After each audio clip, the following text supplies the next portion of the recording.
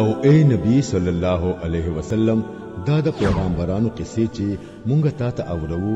دا هغه سيزونه دي چې د دې په ذریعہ مونږ ستا زړه مضبوطوو په دې کې تا ته د حقیقت علم میلاو شو او ایمان والو ته نصیحت او بیداری نصیب شوه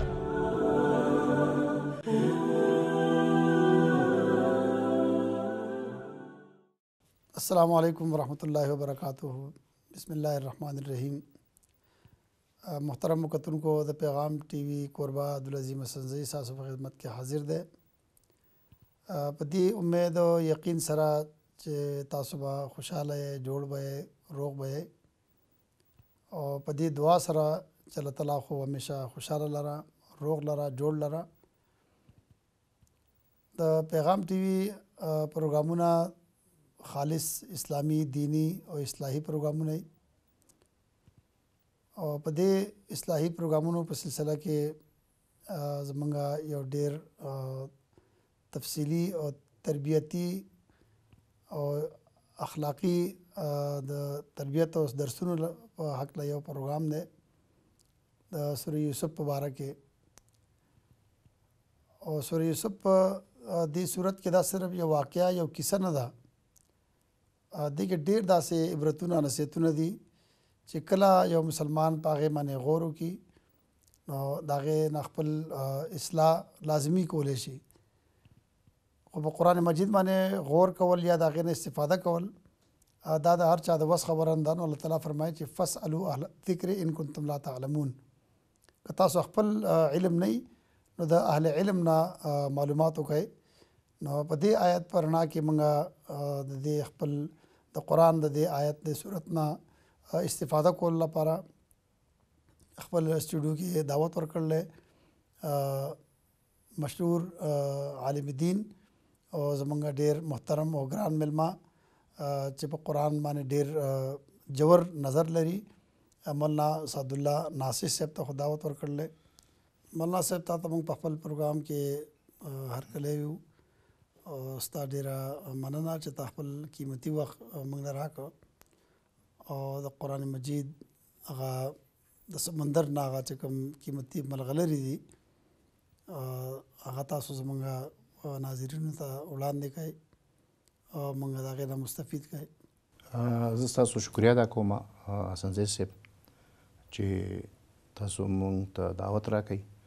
یوازې ستاسو نه بلکې د دې ادارې زه ډېر شکرګزار یم چې الله پاک دوی ته د دیني خدمتونو توفیق ورکړی دی نو زه د الله نه مزید توفیق تاته او دې ادارې ته او هر هغه څوک چې په دې کې شرکت کړی د مزید توفیق په هر اړخ د دعوت کې ورته غواړم چې الله دې ورته توفیق ورکړي امين مولانا صاحب د سورې یوسف باره کې موږ خبره کوو څنګه چې ما کتونکو ته وویل چې د سورې یوسف یو پروګرام دی په دې کې ډېرې نصیحتونه دي عبرتونه دي نو د قران نه چې څومره یو سړی په اخلاص سره فایده اخلي او د هدایت کتاب دی نو په معاشره کې په دنیا کې داسې خلک هم وایي چې هغه د ښه شي نه بده فایده اخیستو کوشش کوي نو دا خو د هدایت یو کتاب دی ولې د اسلام دشمنان هم ډېر زیات دي بیا شکوک شبهات پیدا کوونکي خلک هم ډېر دی نو زموږ په معاشره کې یو عام دستور یا یو خبره عام شوې ده چې په ودونو کې یا داسې په کالجونو کې یونیورسټۍ کې زنانه او نارینه چې دا عام لکه بې پرده ښځې یو ځای ناسته ولاړه خبرې دې کې څه باک نه لري نو که اعتراض وکړي یا سړی پوه کوي چې دا په حدیث کې منع ده نو هغه د سورې یوسف یو آیت نه استدلال کوي چې په سورې یوسف کې دا یو ذکر دی چې د بادشاه ښځې یوسف علیه السلام ته وویل چې د ښځو مخکې راشه چې ته بار راشه نو دې نه معلومېږي خدا چې هغه یو نارینه غیر نارینه او ځوان سړی و دا خزو مخکې راغی نو دا د دې نه د استنباط کې دا کنه صحیح ده دې نه دا ثابتېږي بسم الله الرحمن الرحیم الله رب العالمین دې موږ ته شرح الصدر راکړي امين بلکې ټول انسانیت ته دې الله رب العالمین شرح الصدر په نصیب کړي امين تر څو چې د انسان نه شرح الصدر نه شوي سینه یې خلاصه شوې نه وي، سینه یې کلاو شوې نه وي، نو هغه د خپل ناجائز، نامشروع، ناروا عمل د جواز لپاره کله به استدلال د الله په کتاب سره کوي او کله به استدلال د محمد رسول الله صلی الله علیه وسلم په حدیث سره به کوي، کله کله به داسې کار کوي د ځان نه به خبره جوړوي، نسبت به یې الله ته او د الله رسول ته کوي.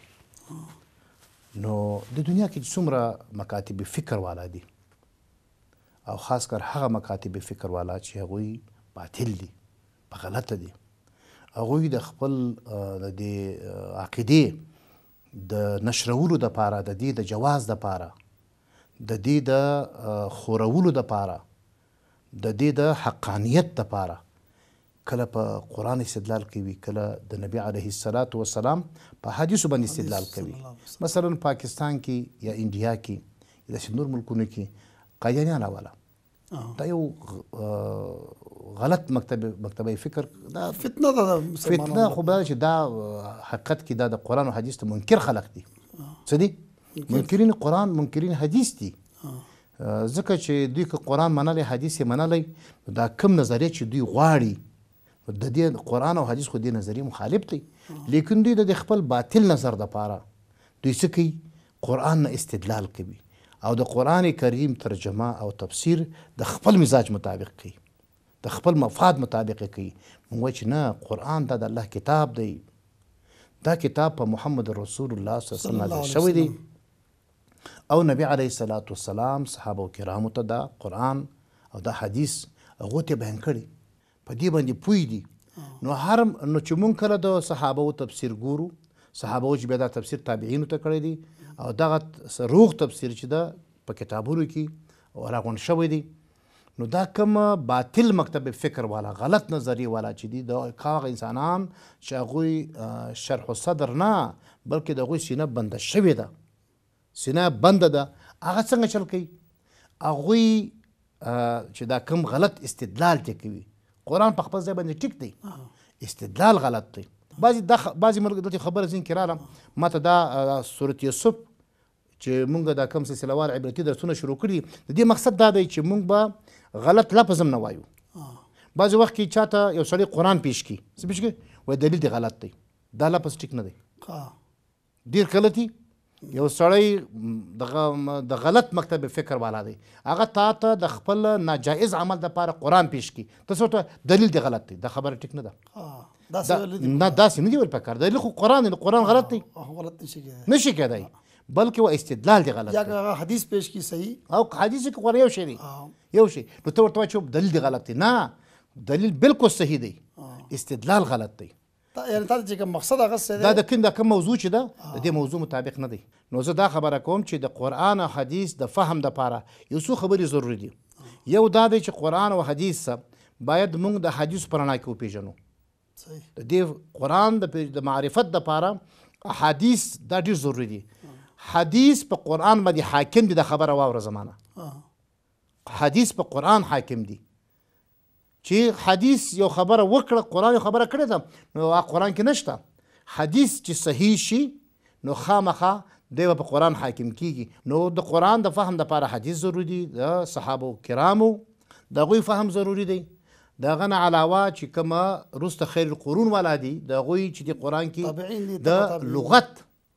بعضې مسائل د قرآن دي چې هغه د لغت سره تعلق لري د لغت سره بعضې مسائل دي چې هغه د یو قاعدې سره د یو قانون سره تعلق لري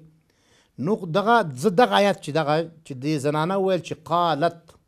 دی ویل یوسف علیه السلام ته چې ته راوځه د زنانو خواته قالت قالت اخرج علیهن ته راوځه دې خواته زه وایم چې دا کم خلک چې په دې آیات استدلال کوي لږ دې د آیات کې سوچ وکړي د سورت یوسف په زمونږ د دې سلسله وار درس نه مقصد هم دا دی چې قرآن کې تدبر تاسو وکړئ تاسو قرآن کې سوچ وکړئ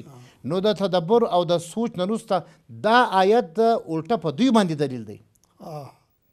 دا حجت له نه دی حجت علیه دی پوه شولې دې کې د هغو رد دی په خپله ها حجت لک او حجت علیک نو دا حجت ته دا دلیل د په دوی باندې الټه دلیل دی خو په دې شرط باندې دا د دې خبرې شاهد دی دا د دې خبرې لپاره دلیل دی چې اختلاط ښه کار نه دی اختلاط بد دی ولی که څوک استدلال په دې آیات سره کوي پوه نه شولې موږ دې خلکو ته یو دا خبره کو چې یوسف علیه السلام راوتی دی نو ولې یوسف علیه السلام څه آزاد انسان و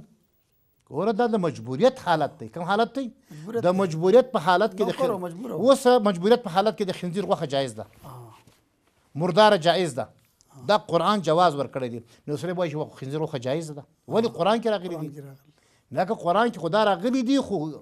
کله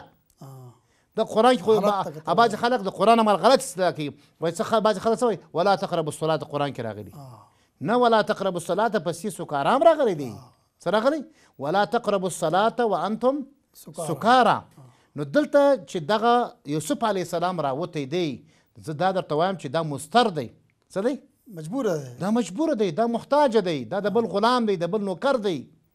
د برده دی د بل د چا لاس لاندې دی نو ته څنګه په دې باندې استدلال کوي دا استدلال خطا دی یو او بل پکې دا مشرکان دي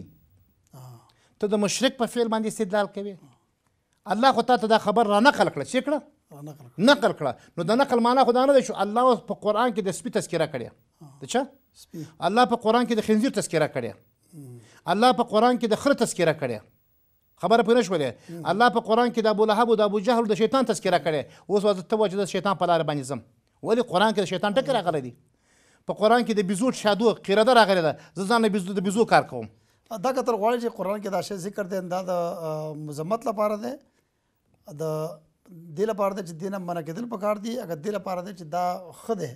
دا کوم فرق پکاري بالکل قران کې یو شی الله ذکر کوي کله مونږ ته وایي چې ګوره دا د دین عبرت والی سوالي عبرت اوس مثلا کوم مثلا الحمار چې وایي وایي دین عبرت واخلي دا چې قول کوي ستا قول او فعل باید دواړه سوي موافق وي متصادم نه وي نو هغه خلق چې و هغه کم خلق و هغه د انبیا او قاتلان و څه و قاتلان د اسماني قانون مخالفین و او هغه انسانانو چې خپل ورونه وژله نو دلته د خلکو استدلال په دې سره دا غلط دی ولی غلط دی ما دا خبره کوله تر اخره پوره نه کړه چې دا استدلال په فعل د فاحشو په فعل د بې حیا او په فعل د مشرکانو او زه به وایم چې نه دلته اختلاط باندې رد دی هغه رد څنګه دی نکته متوجه شه که چیرته اختلاط نه وای شوی دا فساد به نه جوړېدی دا ښځې چې د زنا مطالبه وکړله او د نورو ښځو لاسونه کټ کړله دا د اختلاط د وجې نه وه او که د عدم اختلاط د وجې نه وه دی ښځی تر اوسه ولی مطالبه د زنا نه کوله دغه ښځو ولی دا ښځه نه بدناموله نو دا ښځه که بدنامه شوی ده که یوسف علیه السلام بدنام شوی دی هغه ښځو لاسونه قطع کړی دی پری کړی دی دا د اختلاط د وجی نه اختلاط دا خو په دې آیات کې په خپل رد دی دا رد شو په دې خلکو تاسو دا غیغه انجام ته خو ګورئ د دې وجه ما زه دا, دا درس ځان د خبره ځان ته کوم چاته کوم؟ ځانته کوم چې قرآن کریم دا د تدبر کتاب دی افلا یتدبرون القرآن غور فکر قرآن قرآن د فکر دی هر انسان چې قرآن کې څومره فکر کوي د دې وجه صحابه کرام تاسو وګورئ هغوی چا به یو صورت وایه چا به دوه صورته وایه چا به درې مخکې به نه تلله مونږ ستاسو فکر بس په میاش میاش قرآن بیا ختم شي په دوه میاشتو کې بیا ختم شي نه هغوی به د قران نه ختمي د قران څو کاله کې راغلي دي د قران په درویش کاله کې راغلي چا نو زه دا خبره کوم چې دا قران د الله طرف نه جبريل په واسطه محمد رسول الله تعالی غي مینس کې واسطه ده څه ده نو دا ولې په دا د دریش کال کې ولې راغی الله نو شو کولای چې دا قران په واسطه یو ځل راوړي راوړای شو خو دې کې بنیادی مقصد دا چې تاسو پکې تدبر وکړئ څه وکړئ یعنی قران د پاره کم اس کم دا چې پیغمبر صلی الله علیه وسلم په خپل عمل اقوال د دغه وضاحت سره کوي تفسیر کوي نو مطلب دا چې هغه پیغمبر هغه عمل دغه سیرت دغه حدیث دا د سره لازم دي چې په تفسیر په پوهه لپاره نو خلاصه د خبرې دا ده چې سورته یوسف مونږ ته بنیادی تدبر درس راکړي ګوره یوسف علی السلام تدبر کوه څه کوه په هر کار کې تدبر نو نتیجه څه شوله کامیابي کامیابي شو ټیک شو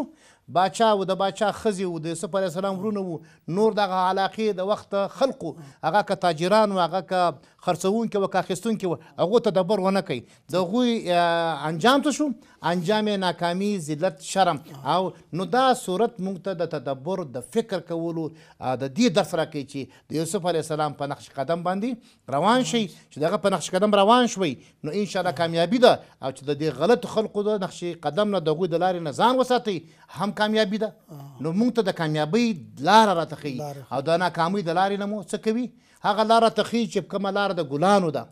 خوشبودار لار ده خوندوره نرمه او هغه لار د زغو ده کندې دي دغه نه مساتي ډیره مننه ډیره خو وضاحت شو بلکې د دغه غلطو نظریاتو والو په رد د هغو دغه دلیل نه وشو دا ډیره ښکلې خبره وشوه ډیره علمي یوسف علیه السلام چې رونو په کوی کې غورځولی کوره بوت نو داسې د قرآن د آیتونو ثابتېږي چې الله تعالی په کوی کې هغه ته وحي ورکړه یوسف ته نو هغه وخت خو د عمر هلک و څو کاله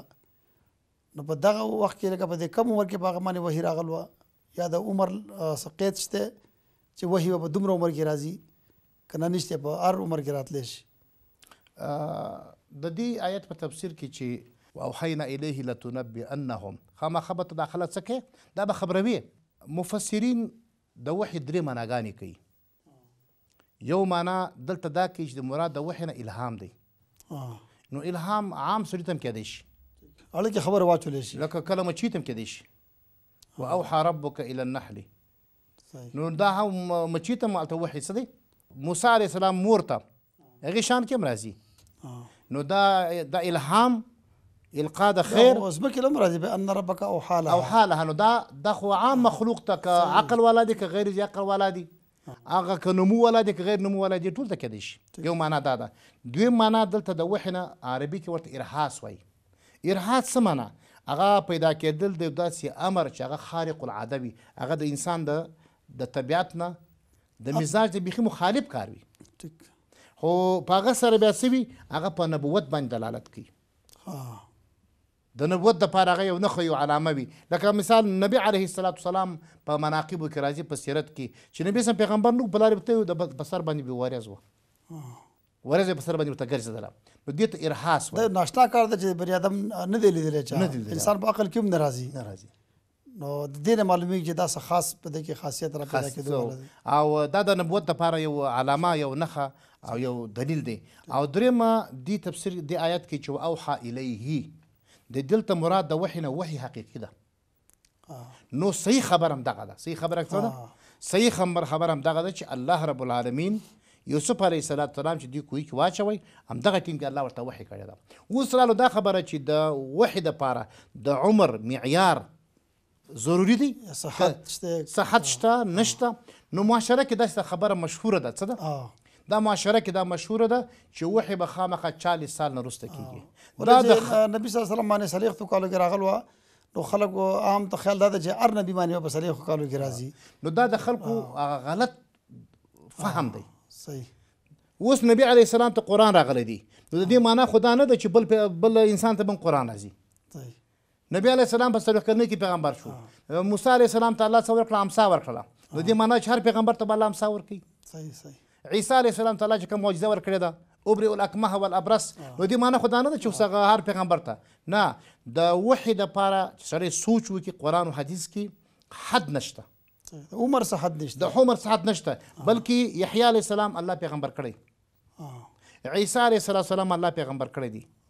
نو د یحیی او د عیسی علی السلام چې سړی قران او حدیث وګوري هغه په ډیر عیسی علی السلام ماشوم دی په ځانګو کې دی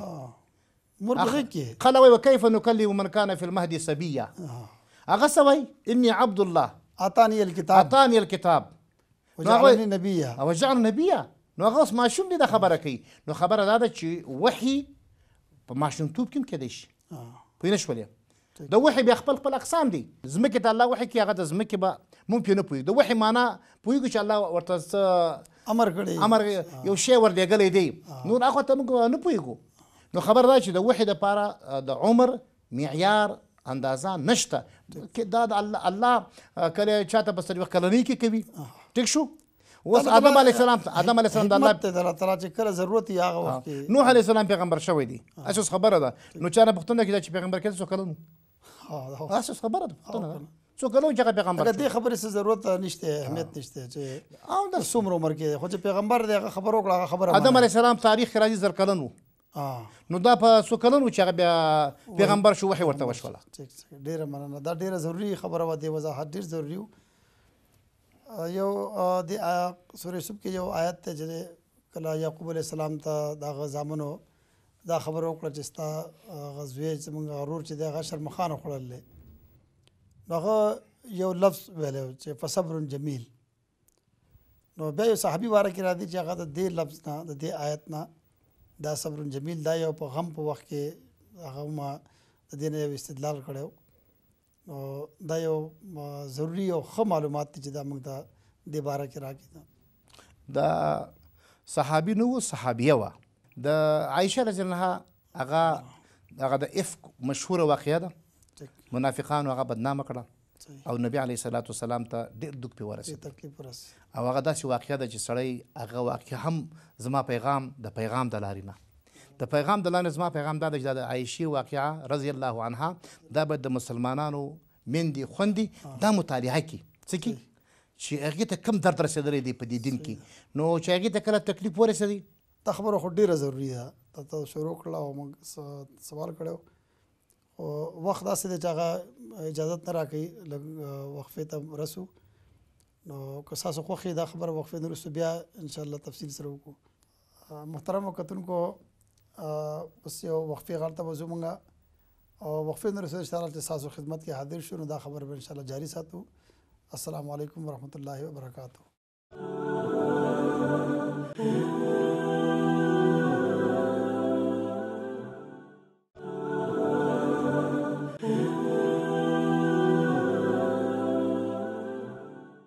السلام علیکم ورحمۃ اللہ وبرکاتہ ګرانو غوتونکو یو ځل بیا تاسو خدمت کې حاضر یو او د خپل پروګرام سلسله د اغه ځنه شروع کو چې کوم ځای کې موږ د وقفې نه مخکې پرې خو او د مولانا صاحب نه د سوالونو هغه سلسله جاری ساتو مولانا صاحب په سورې یوسف کې چې د یعقوب علی السلام د خلی یو ټکی مذکور دی فصبر جمیل چې خ صبر کوم زه نو احادیثو کتابونو کې داسې راځي چې یو صحابي چې هغه دا ټکی چې دا په یو خاص موقع کې د دې استدلال کړو نو دې باره کې موږ تاسو رڼا څخه چې موږ باندې مشکلات راځي پریشانې راځي نو چې دا خبرې موږ مخې ته نو د صحابه په هغه نقش قدم باندې بیا موږ هم روانو حسن زی صاحب دا کلمه فصبر جمیل یو خو یعقوب علیه السلام دوه ځلې دا استعمال کړې ده یو هغه ټیم کې استعمال کړه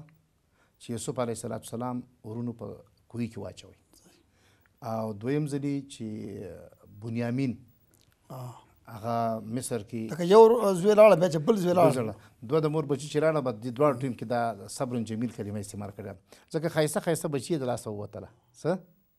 نو د خایسته بچو په مقابله کې به خایسته صبر کوي څه وکړي خایسته صبر به کوي دا کلمه عائشه رضی الله استعمال کړې و عائشه رضی الله منافقانو غزوه بنی مستلق کې بدنام کړه او دې سره نبی علی السلام تم صحابه او ته ټول مدینه کې چې کوم د نبوت د باغ چې کوم ګلان و د نبوت د اسمان چې کوم ستوري و هم لایټونه و هغه ټولې مړاوي او تت ښکاره کېدله نو نبی علیه السلام عایشې مور ته څه ونه ویله هغه مریضه ده خو دا خبر نه چې ما پسې خلک خبرې کوي خو تر دې پورې چې دا د مور کر لاړه وه زه به د مور کر لاړه شم خو دا معلومات دې ته نه و چې نبی علیه السلام ما نه قلبا خفه دی خو وروسته دغه نه بیا دا خبره شوله کیسه ډېره اوږده ده او ډېره خوږه ده او ډیره ده حکمت نه ډکه واقعه ده دا مونږ چې دا کوم پروګرام شروع کړی دی سورت یوسف کې یو خبرې بلې ته زما ذهن اوس راغی هغه دا دی چې دې سورت یوسف په عبرتي درسونو کې دا چې د خپل اسلافو تاریخ زده کول پکار دی لکه مونږ مثلا فتوحات یا غزوات د فتوحات خلک بل شان ده نه هم په فتوحاتو کې د اسلافو تاریخ په کار دی د هغوی بهادری د هغوی شهامت ته څه کارنامې کړلې نو دلته دی سورت یوسف کې چې انبیا دي د انبیاو په نقش قدم باندې څوک روان دي هغوی نو عایشې رضی الله عنها نوه خبره خو بیا خبره شوله نبی علیه السلام سلام دې خوا ته ورغی او عایشې مور ته وویل چې عایشې ګوره که دې خطايي د نشوي انسان دی د دنيا عذاب ډير سپک دی کمزوری دی نو دي عذاب ته تيار شه خو اقرار وکه او نبي عليه السلام ته ګواهان هم نه و او عالم الغيب هم نو خلک و چې رسول الله علم الغيب دی الله بندگانو د خپل کور د ټبر د حال نه خبر نه دی چې ظالمان څونه ظلم کوي نبی علیہ السلام د عائشې د حال نه خبر نه دی یعقوب علیہ السلام د یوسف علیہ السلام د حال نه خبر نه دی سوچ کوه د خبرې ته سبحان الله سبحان الله د تعجب خبره ده چې دا صورت نبی عليه السلام باندې نازلېږي مکه کې صورت یوسف قرآن او حدیث دواړه په دې خبره دلیل دی چې انبیا چې هغه علم غیب نه یوتا علم غیب نه او یو بل سره سونه څه لري تشابه لري تشابه دې صورت یوسف دا اوس کش کې موږ په دې کې یو کال یو کال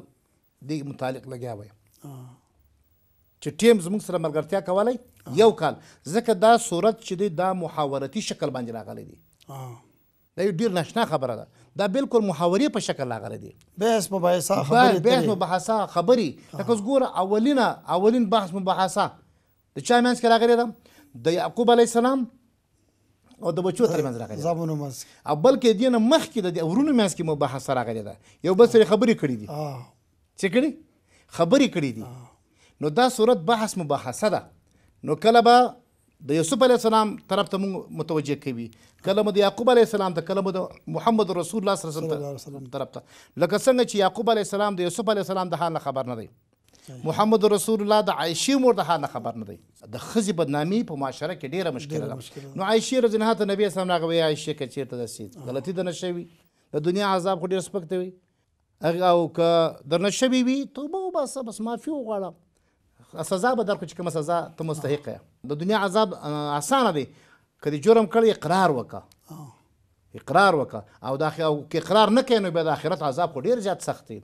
عائشه مور ابو پلار ابو بکر ته وایي چې پلار ترک جواب ورکړه څه وایي هغه وایي زه څه جواب ورکم عايشې مخکې ژړل اوښکې روانې دي لکه ما د ژړا اقسام ذکر کړه نو د انسان د غم په حال کې د پر د مشکل په حال کې نو کله کله ژاړي د دک بیوسی په حال کې مور ته ته لږ جواب ورکړه هغه مار زه څه جواب ورکم نو دا صحابه دیو مل غیب نو کنه نو پلار ته صحابي ابو بکر ته غیب نشته پینشولې داسې نور صحابيات یې وته عائشه رضی الله خپل علم غیب عائشه څومره کوم ځان نه خبر چې خلک عائشه خزه ده چې د اسمانونو د د بره رب کائنات د دې صفائی کې دا ما دا تصور نه کوي زما دا فکر نو غره د خبر ما په خلاصه خبرې کوي هغه هم دا نه خبره نو په دغه وخت کې د عائشه رضی الله هغه ذهني دونه دا پریشان شو دومره پریشانه چې څوک نشته د دې مددگار هیڅوک نشته نه ابو بکر مدد کوي نه مور مدد کوي کولم نشي نه ورور مدد کوي نه رسول الله مدد کوي نه څوک مدد کولای شي د زمکه والا څوک نشته د عائشه مور د مدد د پاره د زمکه والا څوک نشته نشته دلته صرف اسمان والا دی خو اسمان والا سره دا ډایرک خبرې نشي کولای ډایرک خبری نشی کولای چی دا ډک وسره او اسمان والا هم ما درته مخکی دا خبره کړی وه کله کله مدد په هغه ټیم کی نه راځی چی څه وخت د پاره ازمایش امتحان د ایمان درجی خبیث او طیب نو دلته دی باندی دومره ټینشن راغی نو دی ورته ویل چی والله ما اجد لکم مثلا الا قول ابی یوسف زما د پاره بل مثال نسته زه نور څه نشم ویلی د یعقوب علیه السلام نوم تیر شو وای زه تاسو ته بل مثال نشم ذکر کولای زما مثال د یعقوب علیه السلام د پلار غوندې هغه شانتي مثال قول ابي یوسف قول هغه څه فصبر جمیل والله المستعان على ما تصفون نو دا د دوک په حالت کې نو مقصد دا شو د خبرې ته متوجه سم او نبی علی السلام په کور کې په دا صورت داسې وخت کې دا صورت موږ دا خبرې هم راخی ښه نو یوسف علی السلام د یعقوب علی السلام د دوک په د پریشانتیا په صبر جمیل وای او د نبی علی السلام ټبر زوجه، بي بي، هغه هم په صبر جميل وايي، نو مانا دا شوه چې نېکان خلک همېشه کومه کلمه استعمالوي؟ د هغوی ژبه په ژبه نور څه نه وي، صبر جميل، سبحان الله، الحمد لله، الله اکبر، استغفر الله، د نېکانو خلکو مکمل باډي د الله د حکم تابع وي، هم په غم کې، هم په خوشحالۍ هم په خوشحالۍ کې هم په مرض کې او هم په صحت کې هم په مالدارۍ کې هم په غریبۍ کې او هم د قدرت په ټیم کې او هم د غربت په ټیم کې او هم په حضر کې او هم په سفر کې هم په ځوانۍ کې او هم په بوډا شي بوډا شي بس د ټول حالاتو کې او دا شي په کوم چې پیغمبران دي صحابه کرام دي ولې د مشکل په وخت کې ځان ته مشکل کوشا نه وي یو بل ته نه وي الله تعالی ته مشکل کوشا وي بالکل بالکل دا زمونږ یو دغه د دلایل خیرات ورته وایي د خیرات په دې معاشره کې د بعض خلکو علاقو کې شته دی هغه کې یو کې یو یو شی غته درود تاج وایي قا. درود تاج دا د نبی علیه السلام تاریخ لیکلی وایی دافع البلاء والوباء والقحط والالم کفری الفاظ دی ټول مصیبتونه هر څه ته ویل نبی علیه السلام دافع البلاء والوباء دا مصیبتونه دا تکلیفونه دا کړاونه وای څه کوي دا لري کولای شي نو چې نبی سم دا لري کولای شو په احد کې دا سره ماته ده نبی علیه السلام څلور ځای په احد کې زخمی شوی څلور ځای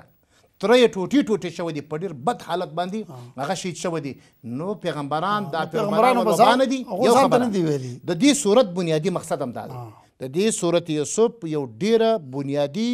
او ډیره ضروری خبر چې معاشره به په دې خبره پوه شي چې انبیا عالم الغیب نه دي انبیا مشکل کشا نه دي ان انبیا حاجتونه پوره کولی نشي که چیرته مشکل کشا عالم الغیب او حاجتونه پوره کوی شو يعقوب عليه السلام به د يوسف عليه السلام متعلق ټول مشکلات په کړي وای او رسول الله صلی الله عليه وسلم به د عائشې رضي عنها چې کوم دوک نبي عليه السلام او ټولي مدينې والا ته ورسي دا دوک به په اوله خبره ورځ کې رفع کړه وای بلکې 40 50 ورځې تیریږي هغه بل باندې 40 سال تیریږي یو باندې 40 ورځې تیریږي بل باندې 40 په 40 سال تیریږي دا ورځې کلونو سره نږدې نږدې دي څه دي ابو سر یوسف کې دا یو خبره چې دو پیغمبرانو ذکر ده چې دواړه پیغمبران نه مشکل کشا دي نه دي دواړه پیغمبران نه عالم الغیب دي په یو ځل کې په یو صورت کې دوه پیغمبران یوازې دا چې پیغمبران نه دي دا ټول خاندان پیغمبر خاندان پیغمبر شي د پیغمبرانو خاندان هم مشکل کشا نه دي پیغمبران یو پیغمبر خلا پرې ده پیغمبران د الله عاجز بندگان چا دي بندگان یوسف علیه السلام وای ډېر قابل احترام یوسف علیه السلام سوای هغه الله ته وتوفنی مسلمان وره دعا کوي وتوفني مسلما ستا ته بداري مې والحقني بالصالحين هغه دا خبره کوي ډیره مننه ډیره کولې خبرې شولې خاص کر د عقاید باره کې ډیر وضاحت شو څنګه چې مخکې مونږه خبره کړو چې دا خزو د زنانه او د نارینه اختلاط نو دا سه جایز ده چې زنانه او نارینه چې دا دی غیري او یو مخلوط محفلی مخلوط مجلس کې کینی یا پاسی دا جایز دي کنه دا خبره خو مخکې موږ په بل تعبیر باندې وکړه د زبه تاسو اوس د استاد د خبرې یو بل تعبیر کې راته وکم چې دا لکه دا د مخلوط شکل چې وو دا تقریبا په دې یونیورسيټي کې کالجونو کې یا داسې سکولونو کې دا مخلوط په دې سیستم کې پارلمان کې اسمبلۍ کې داسې مخلوط او د دې مخلوط نه علاوه یو بل سیستم طریقه ده چې هغه ته خلوت وایي خلوت خلوت دا معنا لکه اوس یو نامحرمه ښځه ده اجنبۍ ښځه ده هغه د نامحرم سړي سره په یو ځای کې په یو کمره کې کینی مثال لکه وریندار شوه وریندار راځي د لیوره سره په کمره کې ناست دی د تره لور شوه د ماما لور شوه هغه راځي د تره زوی ماما زوی سره په کمره کې کینی یو خو ستړی مشي کوي دا لا یو بوره عادت دی ګنده عادت دی نو په یو کمره کې لاس لاس پور کوي نو دا چې نامحرمه کې د تره ښځه ده د تره ښځه ده مثلا د د لوره د دوی سره دا د معاشره کې دا مرزونه موجود دي نو چې آیا یو اجنبي خزه د نامحرم سړي سره خلوت کوي نو کتاب او سنت کې د دې د جواز هیڅ گنجائش نشته هیڅ صحیح بلکل ددی هیڅ ماته هیڅ ګنجایش معلومیږی نه ولی ځکه چی کله خلوت شروع شو نبی علی السلام فرمایی چی کله خزه او سړی یو ځای شي نو ثالثهما الشیطان د دوی دریم به خامخا شیطان وي لکه دا صورت یوسف نه د خبره ښکاری څه ښکاری کله چې یوسف علی السلام او د عزیز مصر خزه یو ځای کیږي باچا چې و د خزه کار نه کوه وره باچا چې و دې ښځې دا کار نه کوه دا جرأت یې نه شو کولی باچا لاړی خپل وزیر صاحب لاړی د څه ته وزارت ته لاړی پارلمان ته اسمبلی ته لاړی هغه چې اسمبلی ته لاړی دلته د یوسف علی السلام د ښځه دواړه په یو ځای کې شول خلوت خلوت ځان ته یوازې شول یوازې شول موقع مر نو چې شبل ورا ودت حلتی هو فی بیتها شیطان راغی غی وغلقت الابواب وقالت هیت لك نو دلته خلوت چې راغی د خلوت په وجه باندې څه جوړ سوله دا سبب د زنا ده اسلام مونږ د هر برای نه منع کوي رسول الله صلی الله علیه وسلم نه یو صحابي عقبه ابن عامر پوښتنه وکړه چې اې د الله رسوله د لیور متعلق ستاسو لږ مونږ معلومات راکړه زموږ په کورونو کې خامخا ورېندار راځي او د ترلور مامالور وغیره راځي نبی صلی الله علیه وسلم ایاک والدخول علی النساء ګوره زنانو خواته به نه ورځې زنانو خواته به نه ورځې ځان به ترې ساتې فقال رجل من الانصار یو صحابي وفرمل چې ای د الله پیغمبره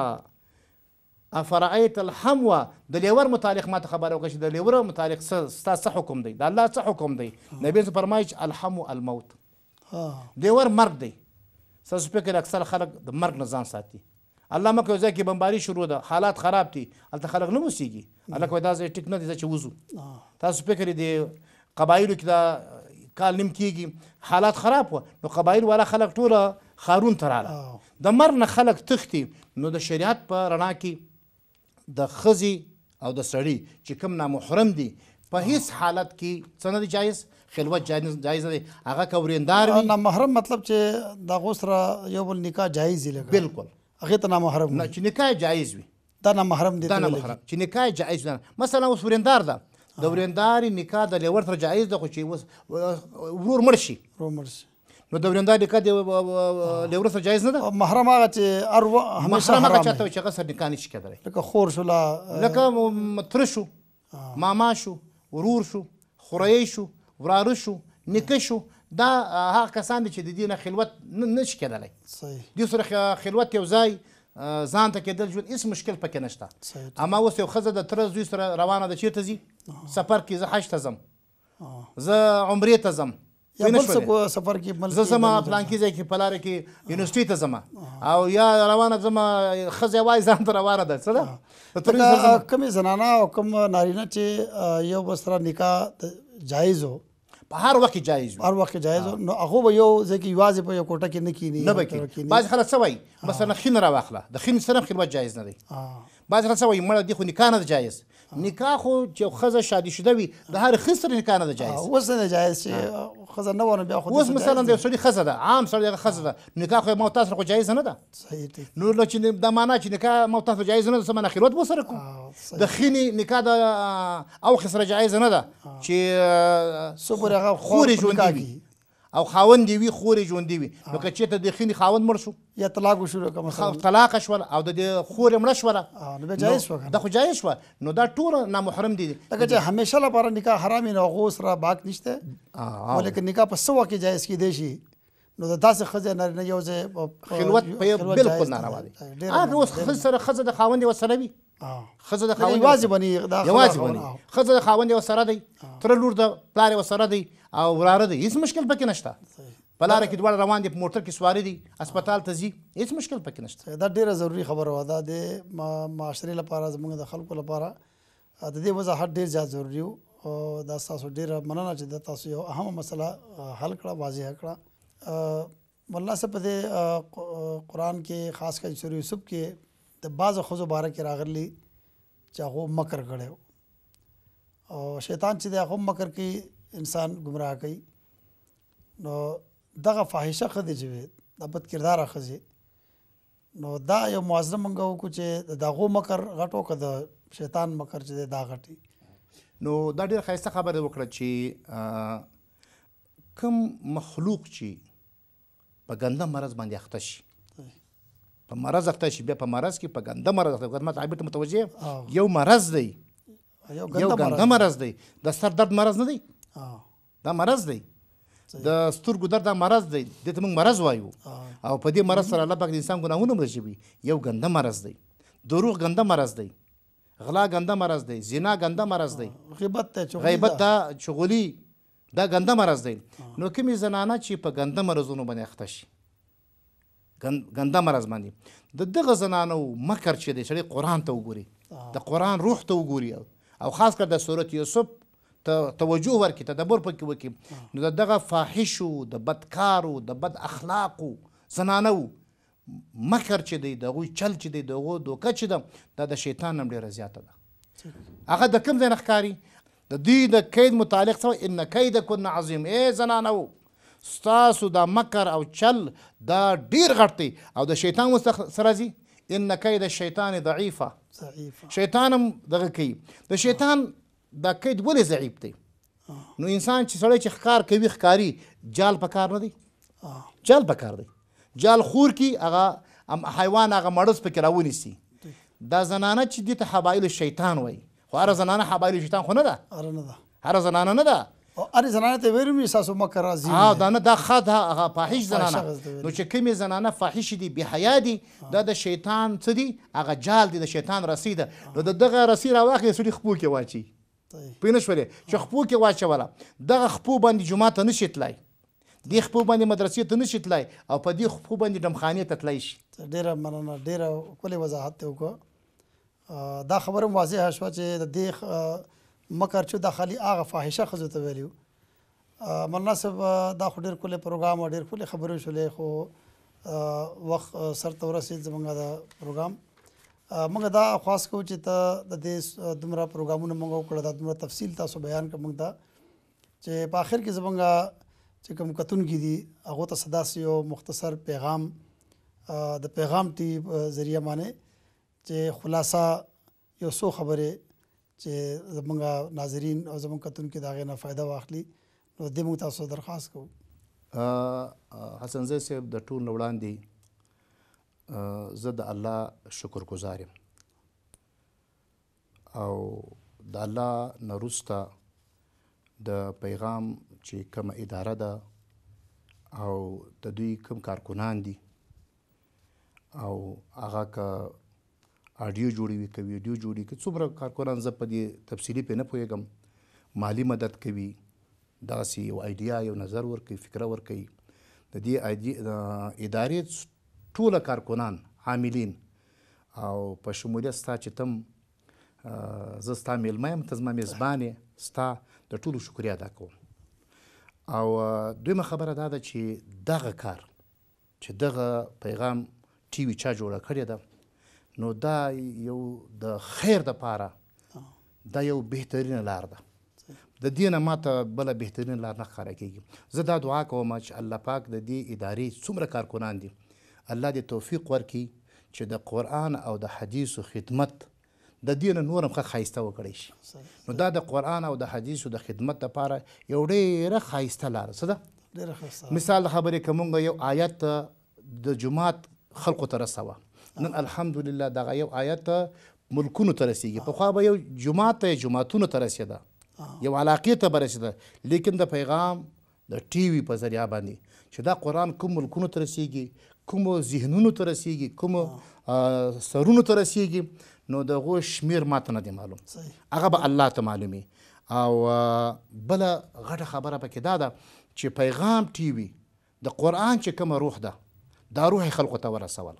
او خلک په دې پوه کړه چې د دې قرآن پر رسولو کې موږ اسلاف لرله د هغه اسلافو چهرې، د هغوی شهامت، د هغوی بهادري او د هغوی کارکردګي خلکو ته وښودله. نو زما پیغام د پیغام ټي وي او د پیغام ټي وي اورېدونکو ته دا دی چې په دین باندې اول ځان پوه کړي. او د دین د پوه کولو لپاره د پیغام ټي وي دا ښه ذریعه ده.